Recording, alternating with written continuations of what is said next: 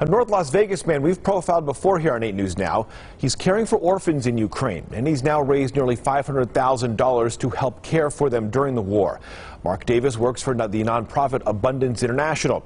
If you would like to also donate to the organization, we still have a link on our website, 8newsnow.com, and the GoFundMe page is right there. Sherry?